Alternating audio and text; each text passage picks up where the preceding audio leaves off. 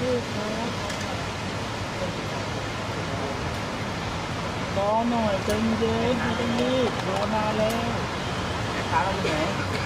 แล้วทั้งหมดเขาบอกว่าเราเป็นปฏิปัติที่มาจากเรื่องที่เราฟ้องร้องเรียกคุ้นคืนด้วยไหมคะ เออผมคิดว่าเป็นอย่างนั้นครับก็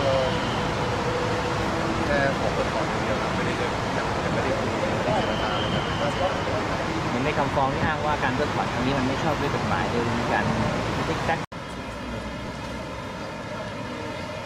เพราะวันที่ออกครับที่ดีมีสิบชุดที่มาเป็นได้เลยร้องร้องเลขคดีมาชุดหนึ่ง